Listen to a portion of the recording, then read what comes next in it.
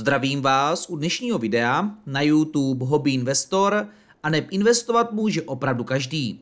V dnešním videu se podíváme na mé poslední cash flow roku 2023, podíváme se tedy na můj tok peněz za prosinec roku 2023, podíváme se samozřejmě i na koeficient bohatství, který postupně by nám měl růst na číslo větší než 1, protože potom budou naše příjmy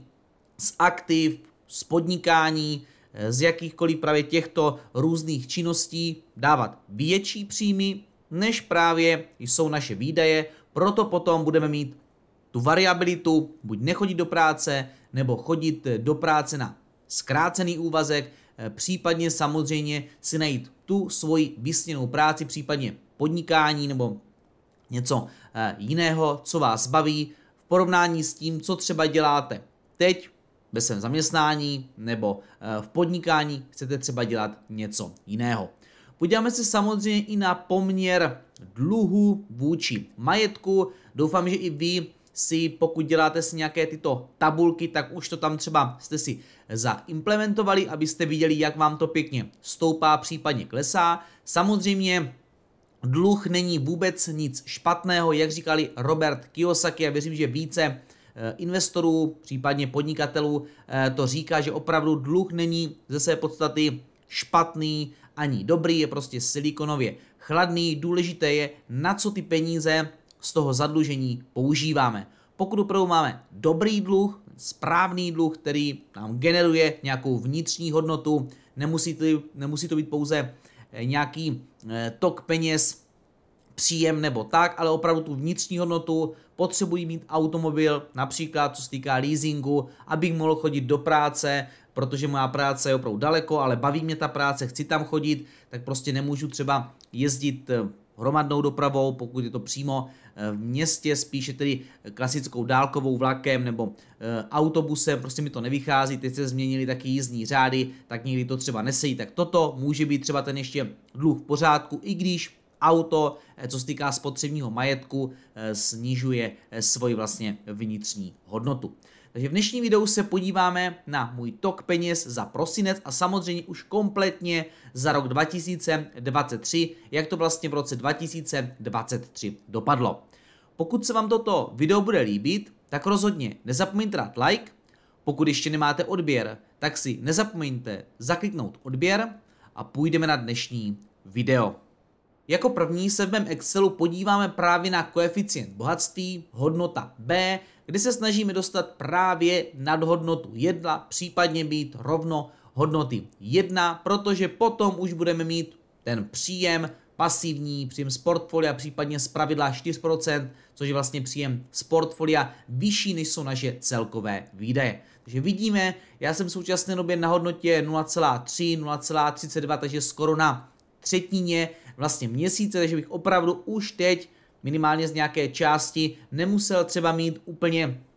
celý e, úvazek a mohl třeba chodit do práce jenom na nějaký zkrácený úvazek, e, případně v ten den třeba e, dělat projekty, jak jsem vlastně klasicky dělal, když jsem dělal jako OSVČ projekty. Teď opravdu dělám pouze minimálně, když je nějaký čas. Potom tu máme hodnotu D, poměr dluhu vůči majetku, kde se díváme na hodnotu a snažíme se mít pod hodnotou 1, což nám říká, že naše zadlužení je právě nižší, než je eh, náš majetek po odečtení eh, všech eh, dluhů. Já vidíte, zatím jsem stále na hodnotě 0. Samozřejmě v budoucnu, pokud půjdu cestou nějaké hypotéky, tak je možné, že právě se dostanu s hodnotou právě toho zadlužení, třeba i přes hodnotu 1. Uvidíme, jak to samozřejmě bude, protože to zadlužení, eh, pokud se bude jednat o nemovitost, kde já budu si brát 80% právě dluhu nebo cizích peněz z banky, tak opravdu, no pravděpodobně, protože ty ceny nemovitostí jsou hodně vysoké, tak to zapříčiní to, že ta hodnota zadlužení bude nad hodnotou 1. Ale myslím si, že eh, toto zadlužení opravdu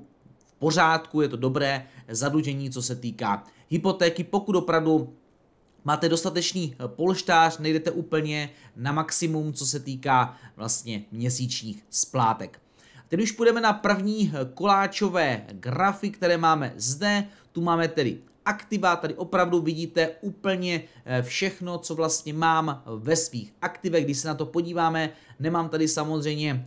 podnikání, nemám tady samozřejmě nastavenou celý svůj vlastně běžný účet, mám tady, jak vidíte, pouze to, co mi generuje nějaký příjem, nebo mi mohlo generovat nějaký příjem, případně tu mám vlastně ty prostředky, které mám možnost zainvestovat. Když se podíváme vpravo, vidíme aktiva, což je z minulého měsíce listopad 2023, z minulého tedy videa a tady vlevo vidíme právě, tady vlevo vidíme ty aktuální, takže vidíme, že se nám navýšila hodnota cash na hodnotu 2,8%, protože jsem něco navíc získal, teda dostal jsem vlastně z toho, co by mělo ještě přijít vlastně za celý rok, co se týká Eh, příjmu, nebo tedy vlastně faktury zaplacené a potom ještě jsem dělal jeden projekt ke konci roku 2024, tak to je tam taky. Nakonec jsem si řekl, že nebudu nic nakupovat, nechal jsem si to, tedy mám to tam připraveno jako eh, cash pozici, mám to samozřejmě nastaveno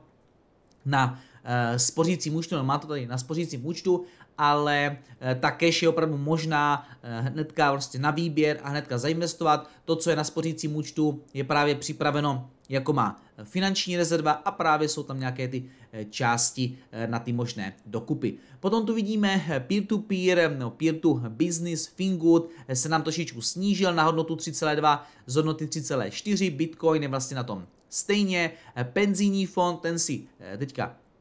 nechám, budu ho rušit, rozhodně vám budu vděčný za váš názor, je možné, že mnoho z vás taky si prostě to penzijní připojištění zrušilo, buď jste třeba zakládali eh, nové s těmi lepšími podmínkami, případně ho budete rušit a půjdete cestou toho nového, toho doplňkového investičního produktu, toho DIPu, s tím, že vlastně tam může zaměstnavatel vám vlastně přispívat, on vlastně na to získává potom eh, ty úlevy, eh, stavební spoření na tom stejně, nemovitostní fond pouze desetinka procenta, začal se na konci roku 2023, takže to se bude postupně zvyšovat a komodity, ty se nám trošičku snížily z 3,4 na 3,2 a trošičku se nám snížily i akcie, když se na to podíváme a to je právě tím,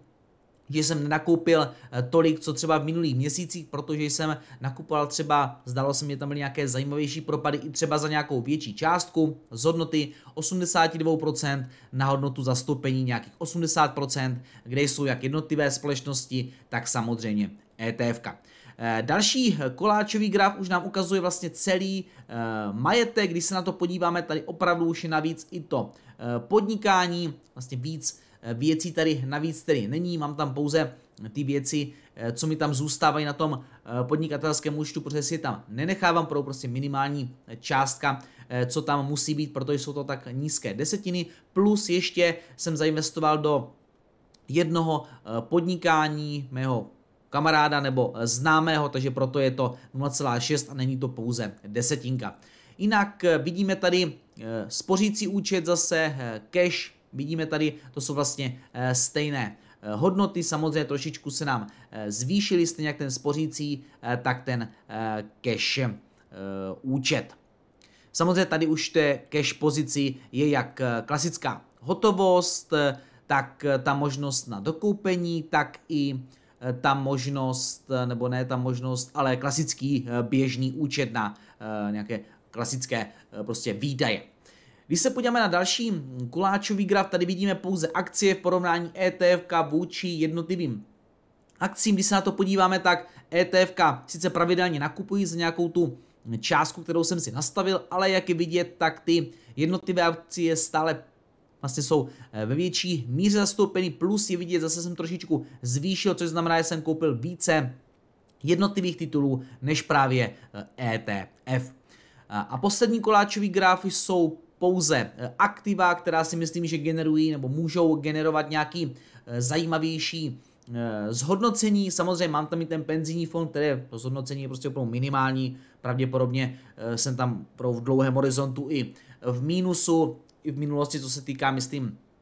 inflace, která byla ještě na rozumných mezích, teďka takhle to eh, nemyslím, ale spíše eh, z minulosti. Nemám tady už ten spořící účet, je tady pouze ta eh, cash pozice, jak vidíte, není tu ani napsáno stavební spoření. Takže když se na to podíváme, toto jsou podle mě opravdu ty aktiva, která opravdu můžou něco generovat, nějaký zajímavější příjem, bez toho tedy penzijního fondu, ale nechal jsem si ho tam zatím, ale budu ho rušit, takže rozhodně vám budu vděčný za váš názor na to, zde se si ho třeba úplně zrušili, nebo půjdete právě tou cestou od roku 2024 cestou právě toho DIPu, což si myslím, že vůbec nemusí být špatná možnost, pokud opravdu vám zaměstnavatel bude nějakou tu zajímavější částku přispívat, tak jak právě přispívá na to eh, penzijní připojištění.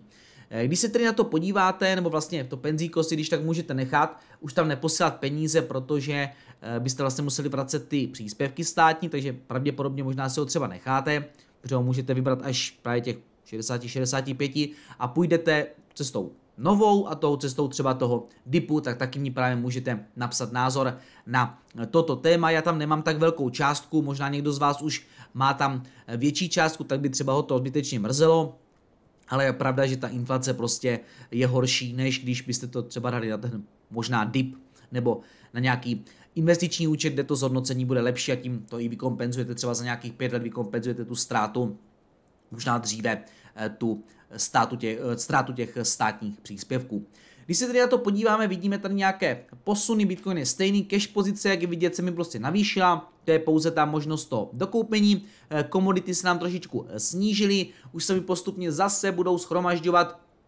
nějaké částky měsíční, abych mohl nakoupit nějakou část do své komoditní části portfolia, takže buď to bude zase třeba nějaká zlatá mince nebo stříbrné mince, uvidíme. Pravděpodobně zatím to vypadá na nějakou tu zlatou minci zase bohužel, ale jsme teďka na maximech uvidíme, kam půjdeme. Fingu, tady se to trošičku snížilo z 3,6 na 3,5, taky nemovitostní fond jsme na tom vlastně stejně. Když se podíváme, tak ETF se nám trošičku snížila z 25,4 24,8 a snížilo se trošičku i ty akcie, protože se nám právě zvýšila ta cash pozice a za stolik jsem toho za měsíc prosinec, eh, co se týká akcí nějak navíc eh, nenakupoval, nechal jsem si to na eh, příští rok, proto ta cash pozice se navýšila o 1%. Teď se podíváme na můj tok peněz za právě prosinec roku 2023. Když se na to podíváme, já jsem si říkal i v těch předchozích videích, zda se dostaneme na částku průměrnou za měsíc výběru 3000, skoro jsme se na to dostali, říkal jsem možná na dvojnásobek toho, co bylo v roce 2022. To se tedy nakonec nepovedlo. Proč se to nepovedlo? Protože samozřejmě jsem neinvestoval pouze prostřednictvím jednotlivých titulů plus, eh, které generují nějakou dividendu, to bych opravdu byl pouze eh, dividendový investor, ale nakoupil jsem právě i ty ETF, akumulační ETF, eh, u kterých samozřejmě ta dividenda se nám samozřejmě automaticky reinvestuje přímo do toho fondu, přímo v tom ETF, takže aspoň nemusíme potom do daňového přiznání nic vlastně zapisovat, takže nevadí. I tak jsem poskočil si myslím velice pěkně, skoro jak říkám na ten dvojnásobek, chybí mi na dvojnásobek nějaké třistovky, což si myslím, že není zase taková hrůza. Co se týká celkového toku peněz, bylo to nějakých za rok 2023 nějakých 35, skoro 36 tisíc v porovnání 19 100 v roce 2022. Samozřejmě ty částky nejsou zas tak velké, porovnání, že je to vlastně za celý rok, ale když jsem začínal 251 korun, potom tady necelá tisícovka, tak opravdu ty skoky už jsou prostě zajímavější podle mě, už je to tady, no, tady byla tisícovka, tady je to skoro 16 eh, tady je to skoro 3000, uvidíme, kolik bude v roce 2024. Samozřejmě je to taky za příčinu tím, eh, co budu nakupovat, zda více dividendových titulů nebo růstových a samozřejmě další takovéto části, které nám tam jdou, ale věřím, že zase se dostaneme na nějaké zajímavější číslo, pravděpodobně to nebude dvojnásobek, ale kdybychom se dostali třeba na hodnotu 5000 korun čistého už, opravdu čistého měsíčně, tak už podle mě to zase něco eh, zajímavějšího, protože kdo vám jenom tak měsíčně dá 5000, eh, samozřejmě není to, jak vidíte, eh, stále stejné, takže je důležité si třeba nechávat, protože, protože některé měsíci je 9000, některé prostě míň a tak dále, protože někde jsou roční prostě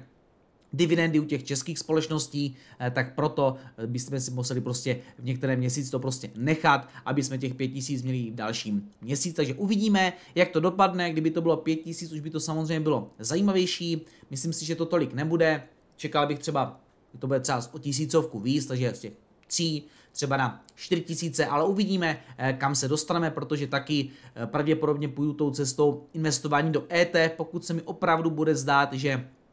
jednotlivé tituly jsou dosti nadhodnocené, tak půjdu cestou právě investování rozhodně pravidelně na konci měsíce eh, právě cestou eh, ETF, kdybych opravdu neviděl nějakou zajímavou příležitost, co se týká těch mých top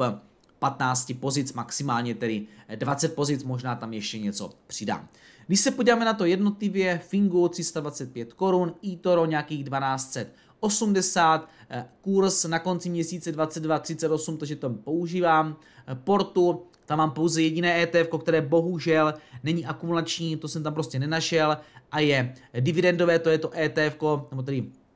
dividendové, ale distribuční, eh, tak je ETF na ty vodohospodářské a vodní nebo společnosti, které se zabývají vodou, distribucí, ale samozřejmě čištěním a další věci. Fiobroker nějakých 1564 korun.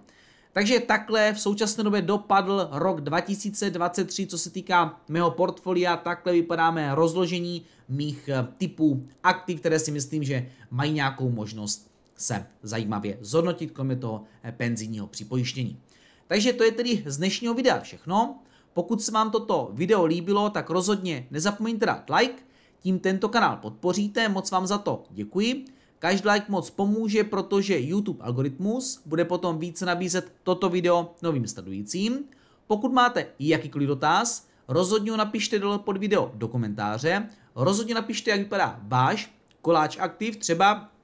za celý rok 2023 můžete napsat, takhle to vypadá na konci roku 2023, investuji do těchto tříd aktiv, takové to je zastoupení, tak rozhodně můžete napsat.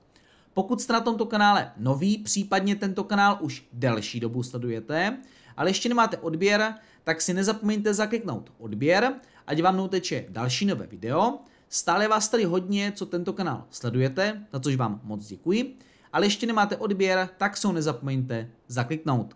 To je tedy z dnešního videa všechno, mějte se hezky a budu se těšit u dalšího videa. Naschledanou. There's a company behind every stock. If a company does well, the stock does well. It's not that complicated. People get too carried away. And first of all, they try and predict the stock market. That is a total waste of time. No one can predict the stock market. When I own auto stocks, I want to know what's happening to used car prices. When used car prices are going up, it's a very good indicator. When I own chemical stocks, I want to know what's happening to the price of ethylene. These are facts.